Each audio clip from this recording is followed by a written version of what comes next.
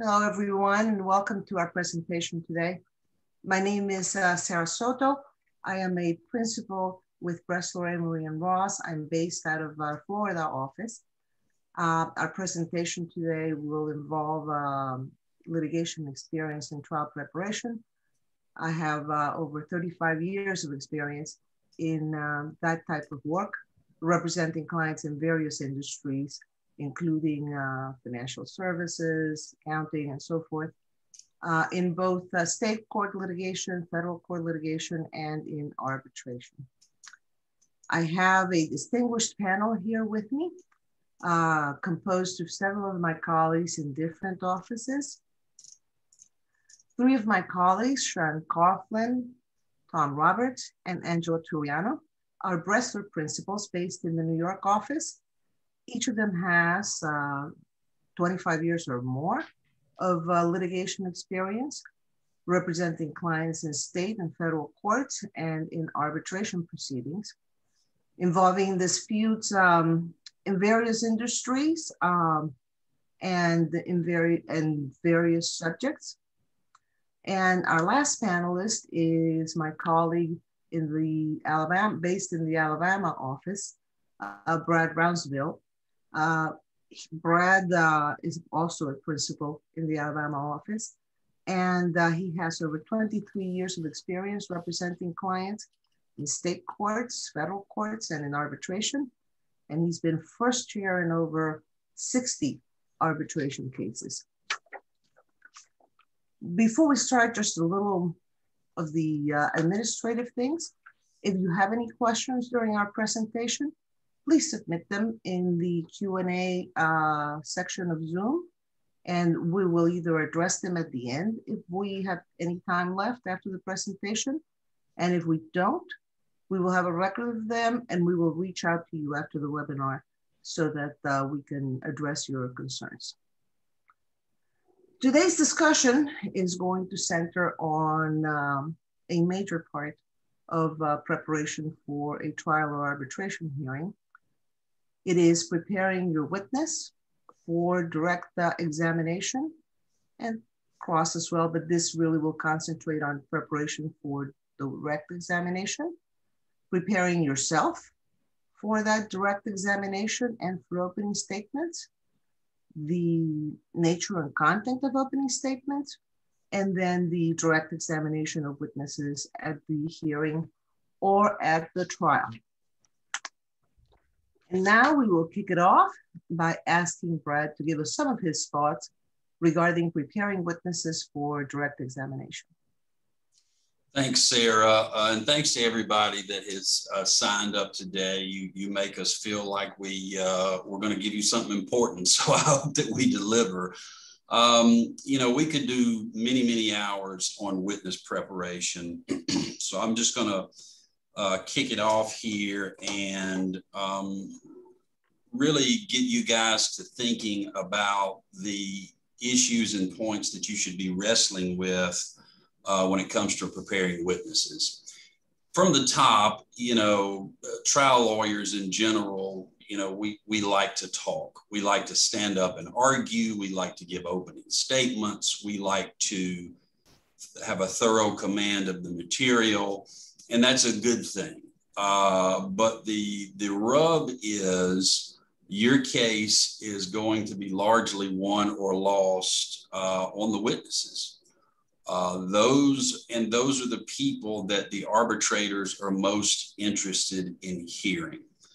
And so, really, when you start your witness preparation, you need to have that in mind and go into your witness preparation with the understanding that you really don't need to be doing all the talking. I have sat through countless, countless witness preparation sessions where the lawyer doing the preparing spoke 65 to 70% of the time. That's not good. It's not good that the lawyer has a command of the material. The witness needs to have a command of the material. And so one of the first things that I do just to just to throw a tip out there and then I'll let others respond is I try to teach my associates and younger partners to stick to asking uh, excuse me stick to asking que- questions in your witness preparation session. Uh, don't be conversational don't try to put words in the witness's mouth you need to ask who what when where and how questions that will get you as the attorney uh, used to uh, conducting a good direct examination, and that will get the witness used to hearing the questions and answering appropriately for a witness examination. Uh, Sean, I'll throw it out to you. What what sort of tips do you do you like to give the, the people that you are mentoring when you walk into a witness prep session with a witness? I like to make sure that witnesses use their own words and that my colleagues don't try and interject their view of the case on those witnesses. I think our view of the case really needs to develop from what our witnesses tell us about what happened. Um, you know, it's one thing to just look at the paper. It's another thing to talk with individuals and get their background, uh, get their recollection about things, and really probe and make sure that their recollection stands up. But if you start interjecting your words and it sounds like the lawyer speaking on the stand as opposed to the actual witness, I, I think the witness loses some credibility. Tom, what do you think? Yeah, no, I, I agree with that. I mean, I, and I agree with Brad's general point that you know the witness is really the star of the show here. Uh, the lawyers are there to to to get the story out, but they need to tell the story. They need to tell it in their own words, and they need to tell it in a manner that's persuasive from their perspective. Um, you can, by overly prepping a witness, and when I say overly prepping, I mean by putting words in their mouth, um, it, it's very dangerous and it's a slippery slope. They lose credibility, they lose it quickly, and um, I, I, just think it makes for a very, very awkward and, and somewhat stilted testimony. Yeah, I think that's 100% true. You have, I've seen it before, you have the witness that is too practiced, too scripted, uh, and they get the question and they're trying, you can see them trying to think about what their lawyer told them to say in response, and they're trying to say the exact words. And that is a huge mistake. And you lose, it. like you guys, everyone's saying, um, the witness loses all its credibility. So it's very important that that the Q and A in prep is yes, you can talk about the case and talk about what's going on, but it has to be you can practice the witness answering, but the what the way the witness wants to answer the question, not the way you think that the witness should be answering the question. So that's very important. And as part of your preparation, since uh, many hearings and trials are going to be virtual, at least to some extent in the future, uh, what do you want to do in terms of uh, preparing the witness from the standpoint of technology?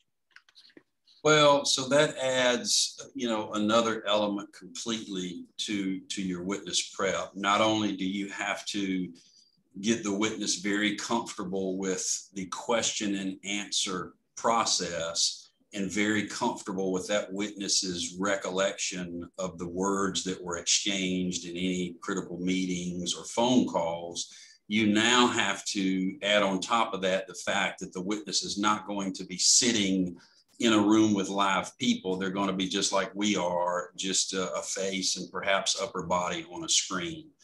Uh, so one thing you have to do for the witness, for yourself, and everybody who's going to be involved is you have to uh, prepare and practice often with the technology. I, will give you a great story. This is my third or fourth webinar uh, to do about Zoom arbitrations in various formats. I have the same equipment. I leave it set up in my office, microphone, camera, computer, lights, everything. I don't touch it. I don't even breathe on it because I don't want anything to go wrong.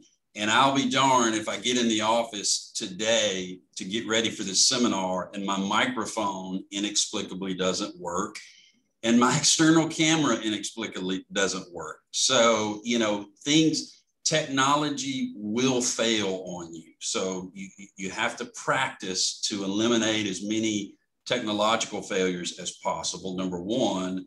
And number two, you have to have a backup plan. Right now, I'm not even using my good camera because I can't get it to work for whatever reason. I'm using the internal camera on my computer.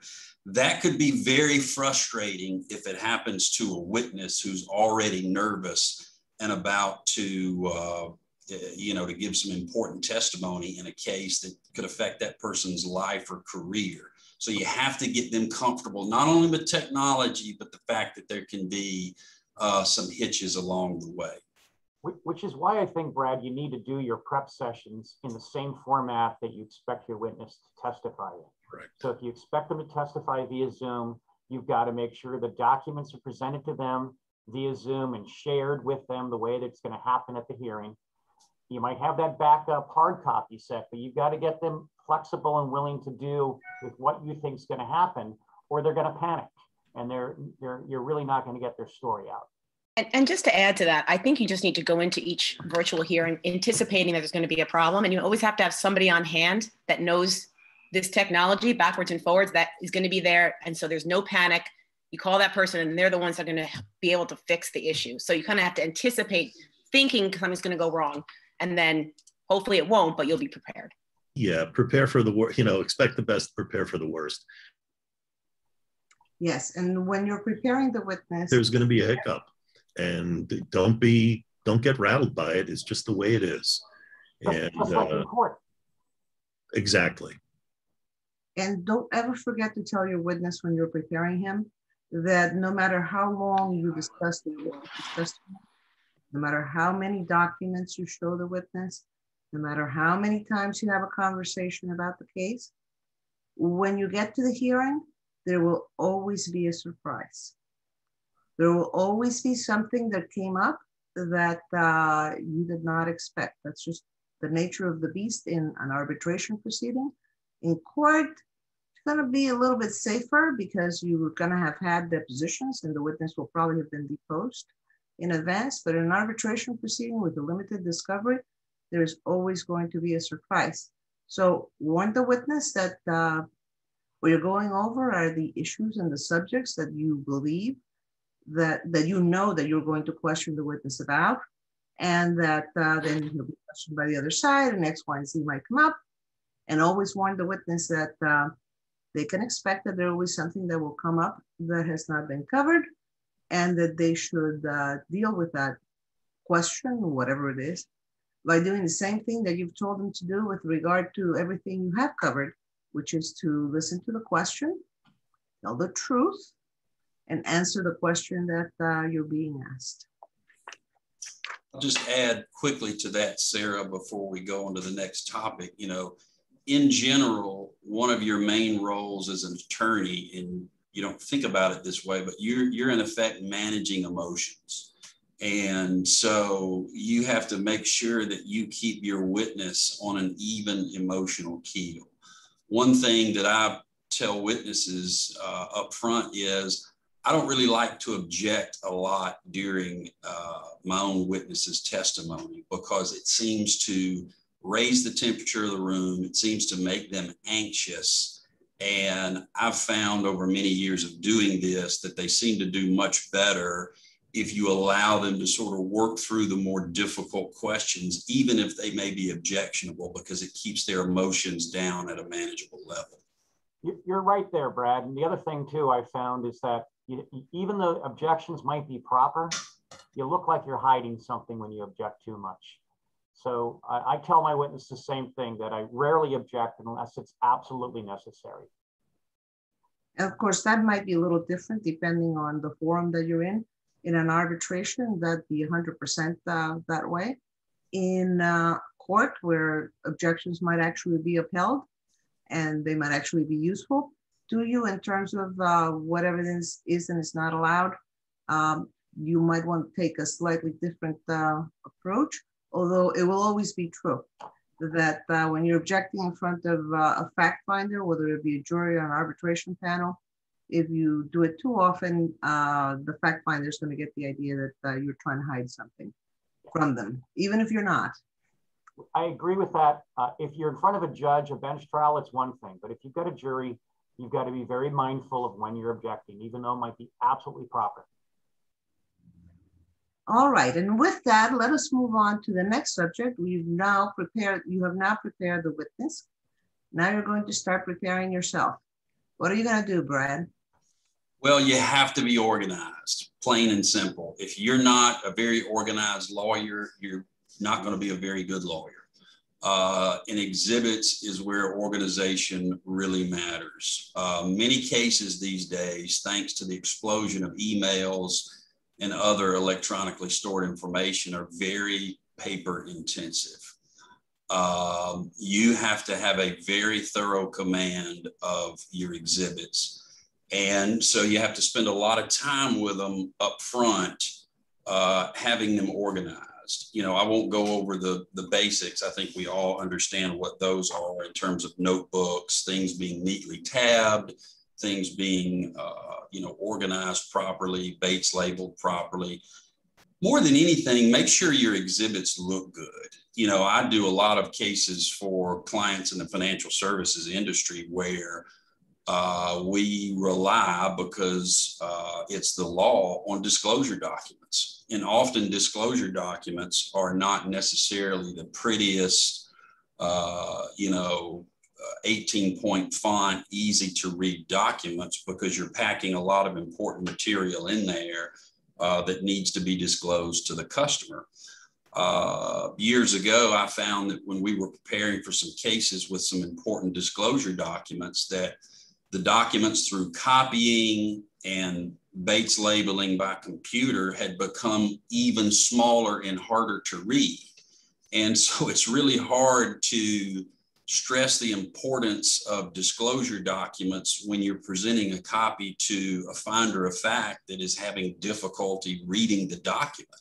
So make sure first and foremost that you get the best copy you can of any document and you make it readable and legible so that people can read it and understand it. Uh, you know, I know I turned 50 this past year and my eyesight is not what it was uh, 25 years ago. So, you know, your arbitration panel, your judges, your juries are going to be the same thing. So that's first and foremost. Uh, and then I'll throw it out there. One thing I've found some success with here lately, and I want to hear what my other panelists have to say, is especially in arbitrations, is considering a joint exhibit book. Uh, Angela, I'll throw it out to you. What, what do you think about the, the efficacy and the value of trying to agree in advance with opposing counsel on having a book of joint exhibits? So if you have the time, which is always a big if, I think that joint exhibit books can be very, very effective. Um, everyone knows about sitting in an arbitration where you have, you know, the claimant has claimant binder one through eight and respondent has respondent binder one through 12, and you have 112 exhibits and all many, many exhibits are exactly the same. And you have the arbitrators up there, like, you know, shuffling through their papers, trying to figure out where they're going. It makes for a very unorganized, inefficient hearing. So if you have the time, and I, we when we were prepping for today, we came, we uh, were talking about whether we've ever had a panel order a joint exhibit book, and I have had that in like two or three occasions where a panel has actually ordered it. The only issue with it is you have to actually, it's a lot of work on the front end, but if you can do it and you can organize it, um, that's great, and it makes for a much more streamlined hearing. Um, one thing that can come up is, you know, then one issue that comes up when you have a joint exhibit book, however, is that the your adversary is going to see documents that um, you know maybe it was the email that was hidden in the doc in email number a thousand out of you know eight, out of ten thousand that they didn't look at, and now they're going to see that you have it. Um, so that would be an issue that would come up, and um, depending on the arbitration and the circumstances, perhaps that would be a document you could set aside and not include in the joint exhibit book. You have a little bit more leeway in an arbitration, but I think overall, if you have the time, um, I think joint exhibit book is a good idea. Um, Sean, do you have any thoughts on that topic? I've always thought they were a good idea. I, I think also um, sometimes, especially if you have a cooperative adversary, you might start focusing on something you really need to have focused on for your client and be in a position to advise your client in a better way about what's coming and how you think your adversary is going to use something as they're put together in a joint exhibit book. And while that might sound like uh, it's has consequences of the hearing. It could have consequences where you decide, you know, you're not going to go forward with this hearing. You're going to change the strategies. You're going to change you know, the value you have on that case. So more information, I think, for both sides is always better. Yeah, I, I totally agree with that. And I, you know, I've never had a panel order me um, to to do a joint book. Obviously, in federal court, it's it's the norm, and, and in most state courts, it's the norm. The um, but even when I can't get an adversary to agree on a joint ex- exhibit book in an arbitration proceeding, I invariably try to get them to agree to some of the basics. You know, the new account documents, the monthly statements, everything. It just streamlines things so much rather than having two sets of the same documents in two different books. So, and and usually they'll agree to that. Um, you know, there are some claimants counsel or who want to have that smoking gun issue. Um, you know, I I've never really had a problem with that because um, I do read all the emails. Right. So, uh, so, but anyway, it's it's it's definitely the best way to conduct a hearing if you can get that joint book. In the absence, try and come up with some compromise that at least part of it can be done jointly. All right, but what if you have a situation, as we often encounter in more complex cases? What if you have a situation in which you have, you know, like the ideal adversary, a person that is willing to agree to a joint exhibit book and you can come to agreements with them.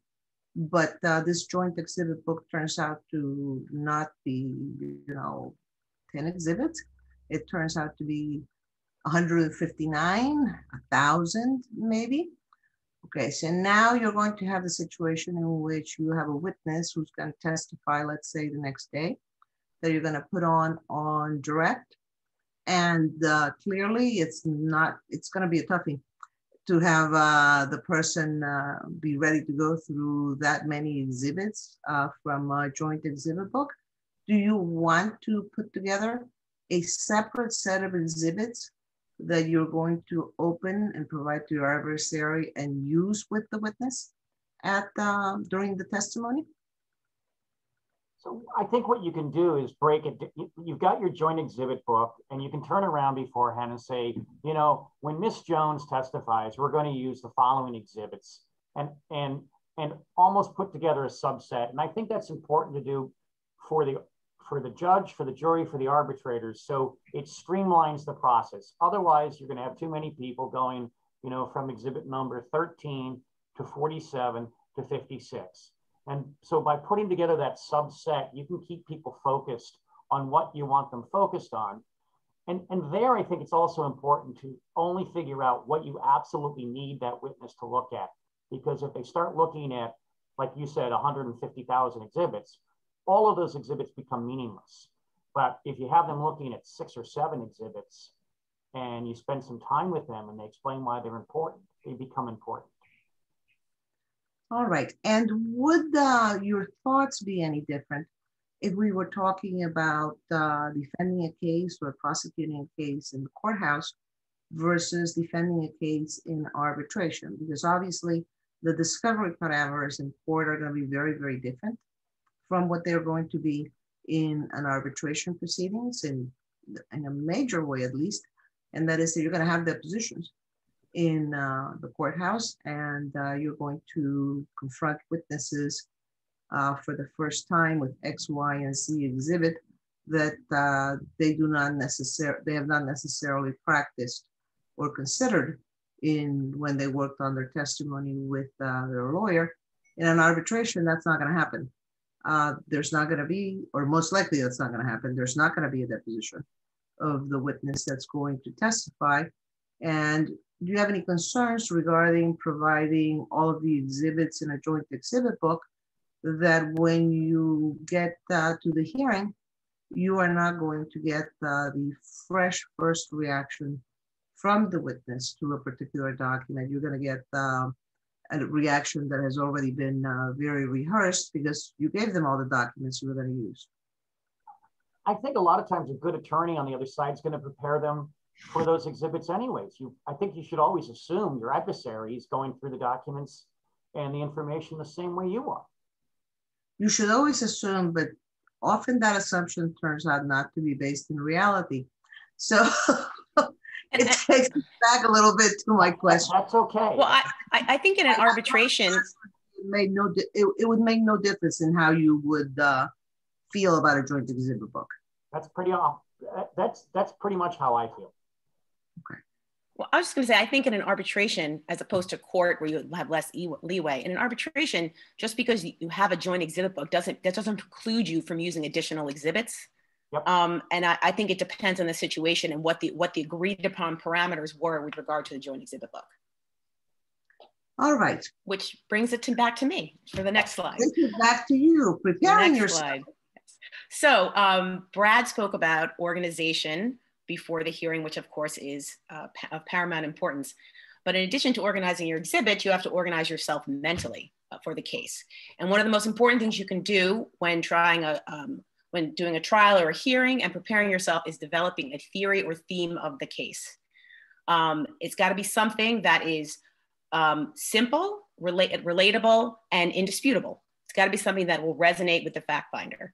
Um, you have to continue, or it's important to continue to interject this theory or theme throughout the hearing in your direct, through your witnesses, um, and in your closing argument. And I know Sean and Tom are going to talk about that a little bit in the next couple slides. Um, examples of some um, theories of a case is um, in a, let's say, a securities arbitration. Um, you have um, uh, a theory would be accountability or responsibility for informed decisions or informed risk taking. So, you know, something like claimant was only too happy to take on to take the informed risks associated with his investment strategy when he reaped the rewards. And you turn it on its head. He was only happy to take the informed risks when he got the reward. When he got the loss, then he turned around and blamed his FA. So that's an accountability, responsibility for your actions theme. Um, then you, and I use that a lot after the tech wreck days. I had this whole analogy with my mother investing, which I won't waste everyone's time with, but it's um, it, it- you have to kind of like say, you know, um, something that people can resonate with. Like, why well, I decided not to take that risk, and now um, this person did, and they obviously were making more money than I was, but when they stopped making the money, they got mad and blamed their FA. In a different kind of case, like say a sexual harassment case, you might do something like a sensationalism versus facts or versus reality theme. So, you know, something like the plaintiff does not want facts to get in the way of her um, fanciful tale of intrigue and drama that she br- brings in the in the complaint. Because oftentimes these ha- sexual harassment claims, you know, they talk about all these horrible allegations, but really when you look at the underlying facts, they don't support these fanciful this fanciful tale that the plaintiff has come up with. So that's what you want to like the jury or the judge to understand is that you know while this sounds terrible on paper this is really not what happened. It's just a tale and these are the facts and this is sensationalism. Sensationalism sells but you got to get away from that and look at the facts. Just examples of like theories of the case that that you can use to have these um, ideas resonate in the minds of your fact finder so that they, you keep referring back to it as you go throughout um, And. I'll, I'll add in on top of that, Angela, you, you know, some of you may think, well, yes, of course, we're taught that in trial advocacy. You got to have a theme and a theory, but the, the, the utility of it is, is apparent throughout the decision-making process in the case. You know, there are many times in the case where you hear opposing witnesses say things that are flatly untrue or are a tremendous exaggeration from the demonstrable facts. And you just you being the lawyer you just want to set them straight and show that they're not telling the truth or they're not accurate. But a lot of times it's uh, inaccuracies about facts that don't really matter. And so you have to walk a tightrope between putting a dent in the credibility of opposing witnesses on collateral matters versus pushing forward uh, to the finish line. And, and I think that's where the theory and the theme of the case helps. You know, when in doubt, when it's closed, if this really isn't pushing your theme, you know, maybe you shouldn't waste too much time showing that the claimant was wrong about, you know, when a meeting happened or what was said or some other uh, collateral issue. Right, right. That because that's Right. not the issue, and you can focus the jury or the panel on what the issue is, and it's it's consistent with your theme. And along those lines, when you're prepping your witnesses, you should. It's helpful to tell them the theme because then they under have, They have a big picture understanding of your case. So you can prep your witness, you know, for as long as you want. There's always going to be questions or a line of questioning that comes up. that they're not going to maybe they get confused they don't know how to answer it if they have that theme or theory in their head it makes it easier for them to respond with something that's consistent with that theme or theory Sometimes um, I think it helps developing that with the witnesses by listening to them, by interviewing them beforehand. 100%. Agree, yeah, Sean. You know, the only way you develop your theme is through the investigation and discovery process. And it, right. it oftentimes that changes throughout, you know, what your strongest theme is may may alter, well, may change course during investigation and discovery. And to get to Brad's point, I agree that that white noise, and if you keep addressing all those little things, they just distract from what it is you're you're setting out to do. So keep it focused on your theme um, rather than tripping up every little, you know, mistruth that the other side may say. Right. Don't focus on it too much. Right. Yep, 100%. Um, so as I said, you know, you, you, want to speak to your witnesses and prep them on the theme, maybe to help to maybe develop the theme with your witnesses. Um, but the other thing you want to think about in addition to the theme is who your witnesses are going to be. Um, consider like a list of witnesses and tr- determine in your head, do I need to call all these witnesses? What is this each witness going to bring to the table? Is this witness going to help develop my theme? Um, do I, what's going to happen if I don't call this witness? Do I need to call witness A and witness B or just one of them?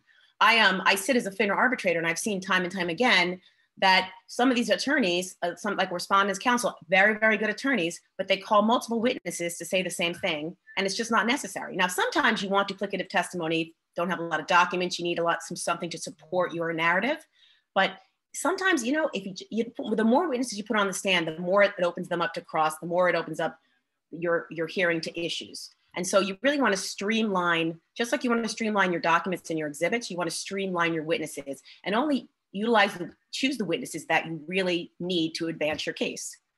Um, once you decide who your witnesses are, um, decide what you want to get out of each witness. What are the four or five most important you want to get points you want to get out of the witness? And then once you figure that out, you know, write it down. Some people think, oh, I don't need to put the, I know what I want to say. I've been doing this for years. I don't need to write it down write down the points you need to make. And then as you're making, as you're doing the Q&A, you could check it off. Just say, all right, that's got said that, said that. Same, same is true with exhibits. Um, what exhibits am I trying to get out from each witness? And as you do it, check it off. Um, and go through go through your witness q&a and you can stop and you can assess where am i in the middle, middle of your testimony some people don't like that little bit of awkward silence but you know take care of that easily with um, just one moment, Madam Chair, just one moment, your, just one moment, Your Honor. Take a look at what you're doing, especially at the end. You're, you're done with your Q&A um, or you think you're done. Take a minute, look at your questions. Are the, the four or five points, did they come out? Did you get all your exhibits in? Um, and only then do you pass, pass the witness to your, to your adversary. The last thing you want is to, you know, be done with your witness and not have achieved one of the goals that you set forth for your witness. And it's really just all about the preparation and thinking things through beforehand. Um, which brings us to our next um, topic is the actual trial. Um, so once you're through prepping, unless anyone has anything to add, um, that when we're going to talk about effective um, methods of opening and direct while at the hearing. And Sarah, if you want to give the code now, it's probably a good time. Uh, yes, um, for those of us, for those of you that are wanting uh, CLE credit for this presentation, the first code is hybrid, that's H-Y, B as in boy, R-I-D. All right, so you've gotten to the trial after you've done all of this preparation. And um, turns out, let's just say it turns out that your trial is going to be virtual, right? So if, when a trial is virtual, you lose the visual cues that you have when it is in person and so, for example, it's harder to do the things that you would ordinarily just try to do as a matter of course in person, such as, you know, not interrupting, uh, not talking over other people in the video conference and that type of thing. You have to make a conscious effort to avoid that if you're going to have a virtual hearing, because um, otherwise, uh, it, it, on Zoom, no one can understand anyone when people are talking over each other. They probably can't do that that well in person anyway, but they definitely cannot do it in uh, the Zoom setting. So try to be very mindful of that if you're going to do a virtual presentation. And pay attention to what view you're most comfortable with. I mean, Zoom has, you know, a gallery view and a speaker view. If you want to see the witness's face when they're answering and concentrate on that, then uh, obviously you'd want to use the speaker view. You may want to see, take a look at the other participants as well, or at some of the participants. You may want to see, you know, what the arbitrator's reaction is to particular testimony. I leave that up to what your personal preference is because I've found that people have uh, different uh, preferences in that area. I don't think there's one that's right or wrong. I think it's uh, whatever works uh, the best for you. And so now we're going to go to, you got to the trial. Um, presumably you dealt with the details if it's a virtual one as opposed to in person. And so, Tom, tell us a little bit about opening statements. Well, you know, openings are the, the, the, old adage goes, you know, first impressions are, are the they matter. They're the most important. So take some time to develop an opening statement. They are your first chance to not only establish your own credibility, but certainly the credibility of your client to the panel, to the trier of fact, be it a judge or a jury.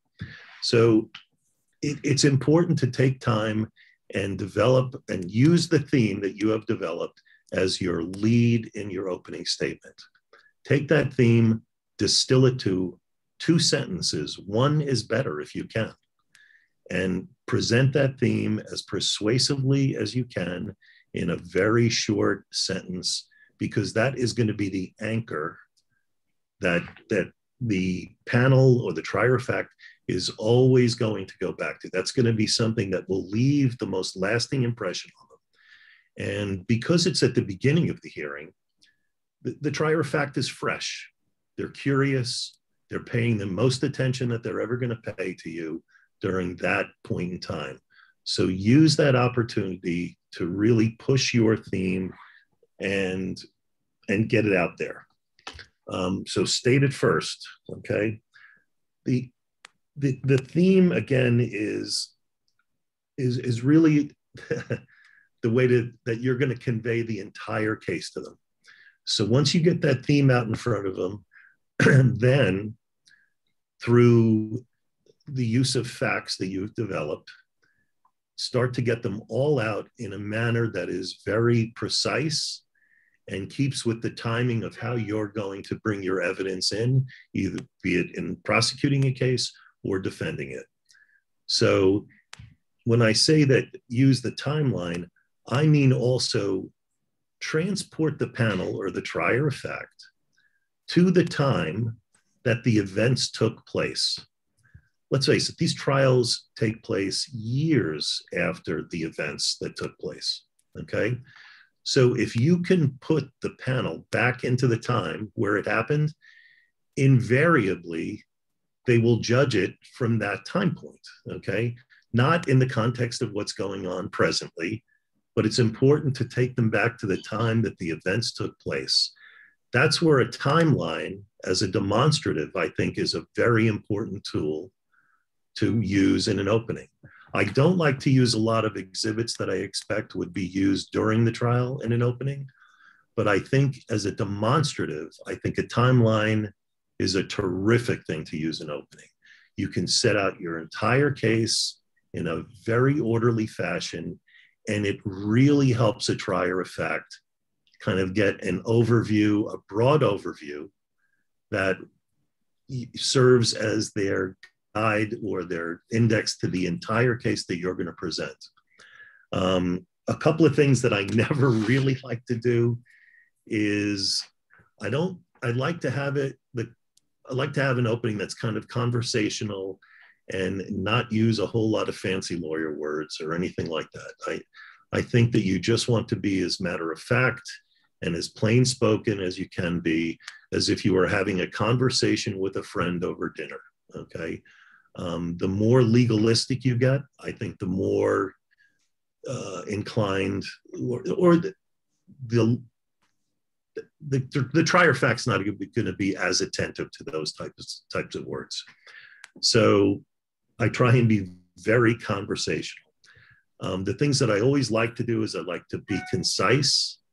I like to promise only what I know I'll be able to deliver during that hearing. Um, I don't like to overstep and promise more because I think that always comes back to haunt you. The other thing I think is critical is to really personalize your client. Um, you know, typically I'm on the defendant side, and it's usually a large corporation, um, a large financial institution. But those institutions only work through people.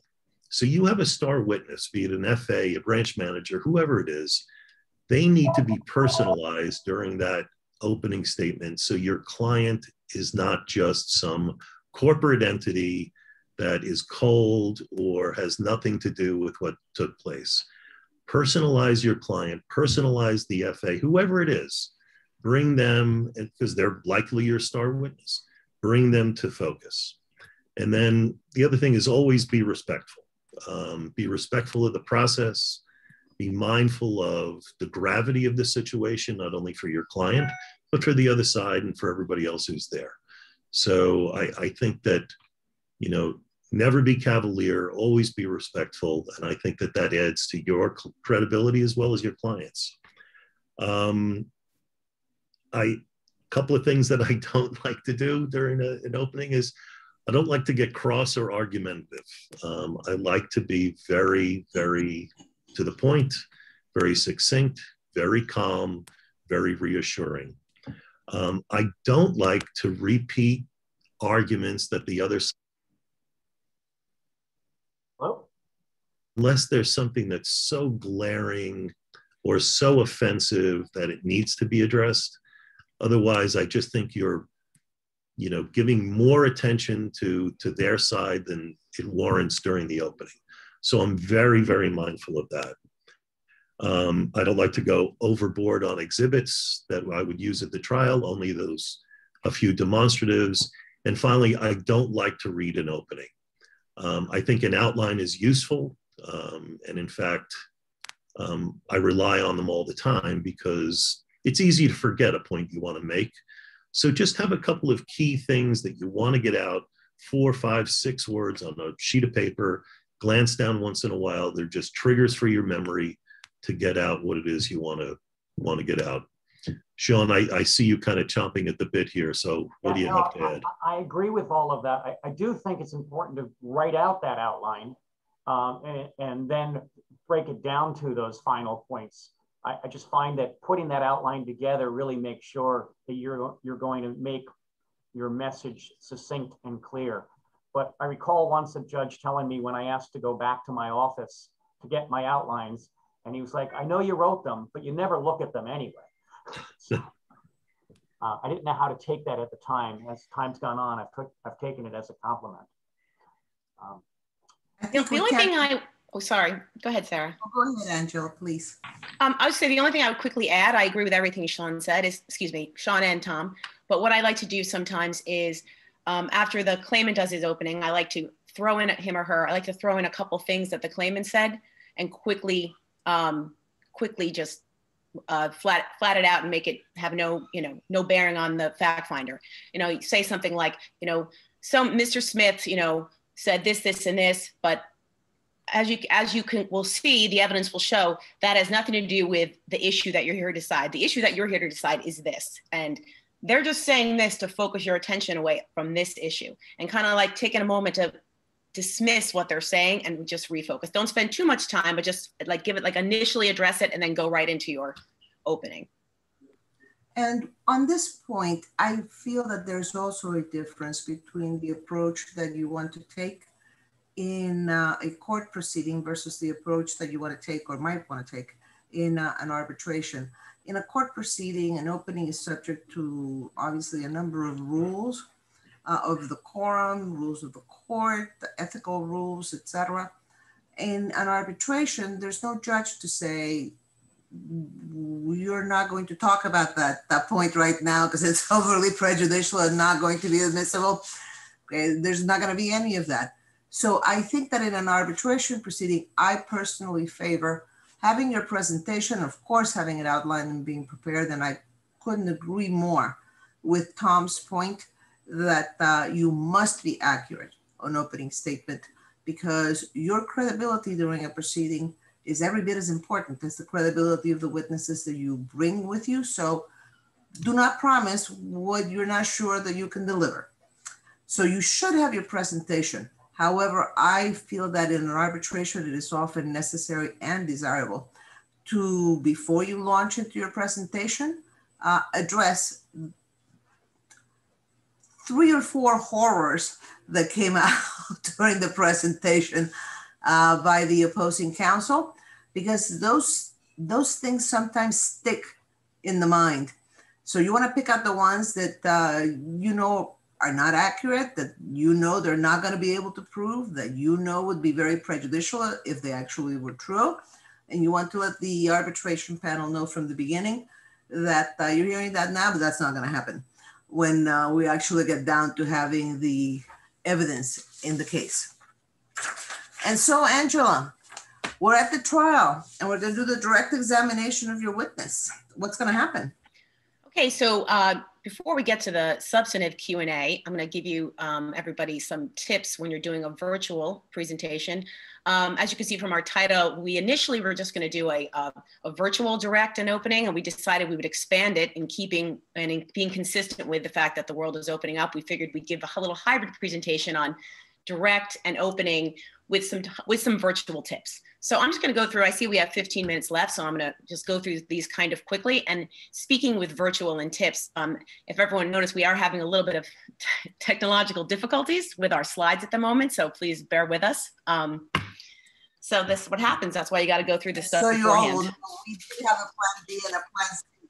Yes, we did we have did. a plan B and a plan C, but unfortunately, we have, have no plan D. We have no and D. That's what we have no D. So we'll have to just work with it.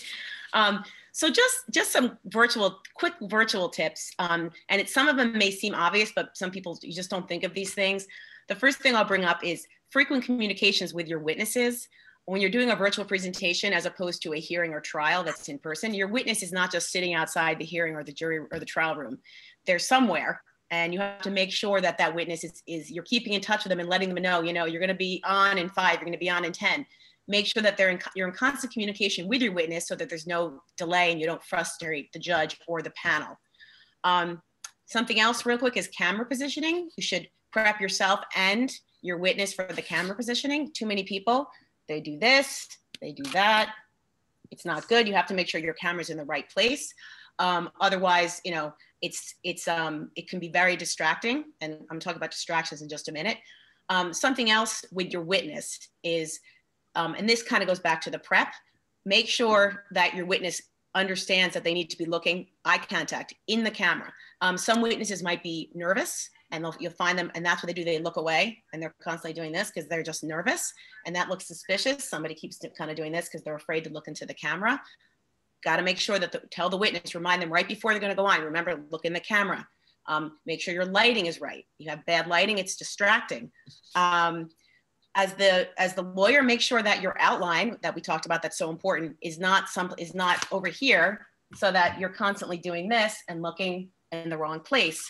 Um, monitors. I uh, purchased a nice monitor when this whole pandemic work from home thing happened, and I, you guys are all nice and big over here, but here I have my small Mac. So I'm always inclined to do this, which I do on meetings, but today I'm focusing here, but just be mindful of looking into the camera, looking at the panel um, or the judge. Um, something you might want to consider when doing your Q&A and doing your direct is pinning the witness so that the witness is the focus and turning yourself off so that the, the witness is the, that your um, direct witness is the star of the show and, and the fact finder is listening to that witness. Um, talk about distractions and then we'll move on to Sean. Um, again, lighting is important. Yesterday we were practicing and Sean was, his room was super bright. It was very, very distracting. He fixed it today, but that's very important. Your room distractions, where, where is your witness sitting? Um, I have a fan here, right? If I was, if I was talking like this, pretty soon the fact finder would just start maybe staring at that fan and stop paying attention to what I'm talking about. These are the little things you have to be cognizant of in the virtual setting that you might not um, you might not normally think about. Um, And then just the only thing I will add before we move on to Sean and substantive Q&A is, you know, it's more difficult to pay attention on a Zoom hearing than it is in a real hearing, just just because you're not in the courtroom, you're not in a hearing room. People are in their homes and are easy, more easily distracted. So, I mean, I already have a propensity to speak super fast. So you need to exaggerate that even more. You want to be a little slower, a little bit more deliberate in your Q&A in a virtual setting than you would be in an in-person setting. Um, and I think someone mentioned before about interruptions. I think less interruptions is less is more with interruptions in um, on a virtual setting because again, more hard to follow. It streamlines the process and it makes it. You just want to you just want to keep everybody focused, the, fact finder focused. So the lighting needs to be good, good eye contact, as little distraction as possible.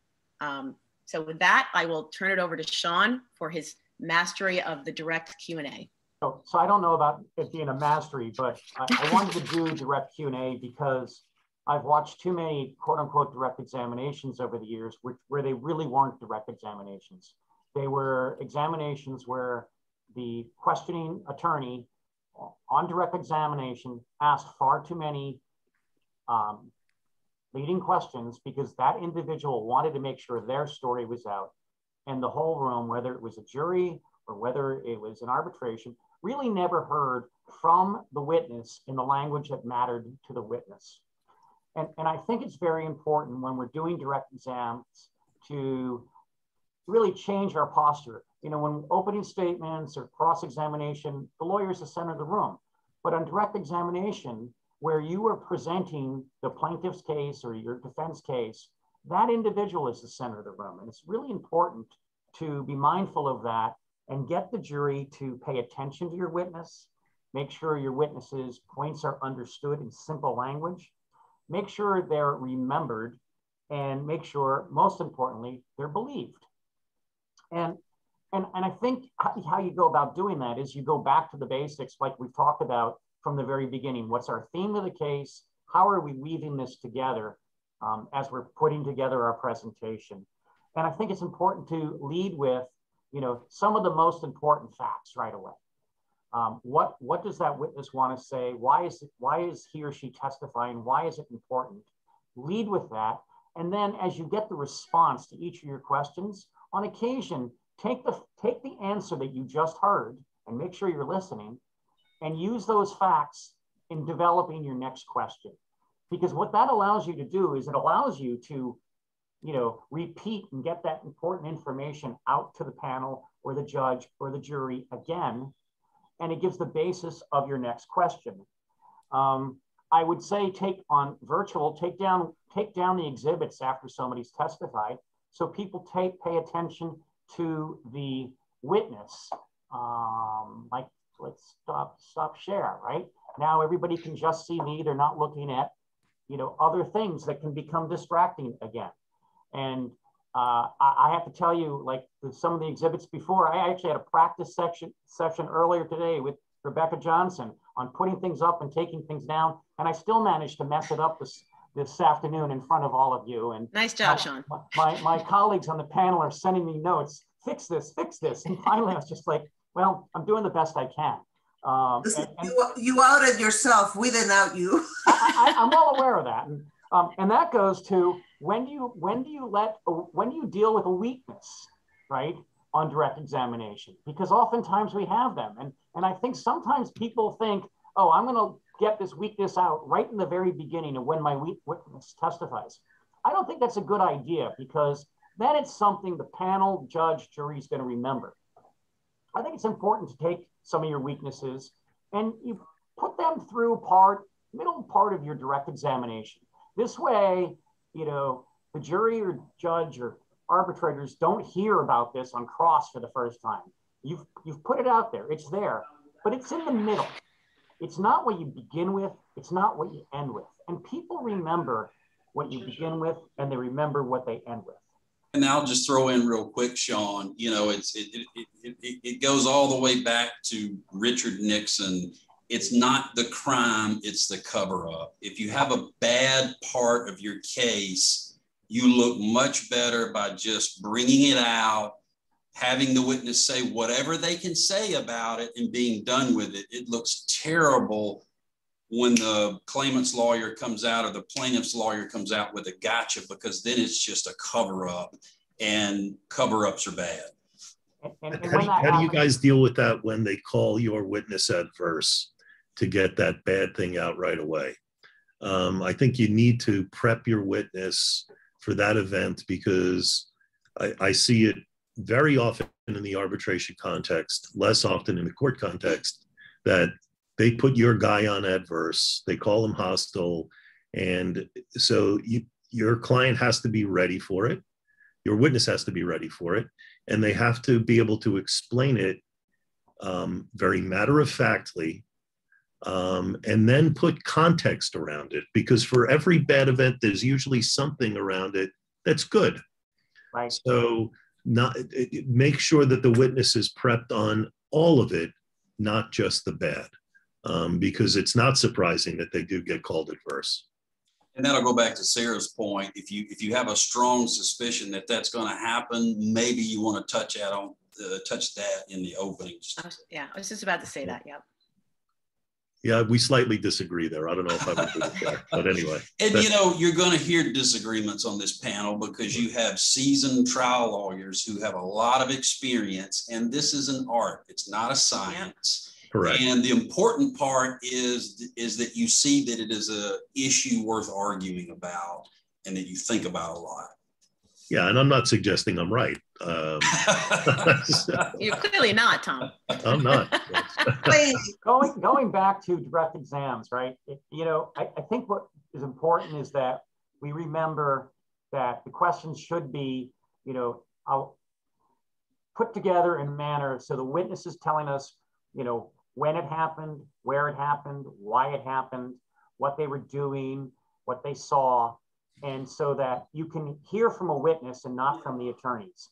And if it's part of your theme and you keep things constant throughout your case, you're going to, it's going to resonate with arbitrators or jurors or judges. And, and that's crucial for you to prevail on your case. Um, and I, will throw in real quick too. I, I tell all my witnesses, you know, I'm going to ask you roughly two different types of questions.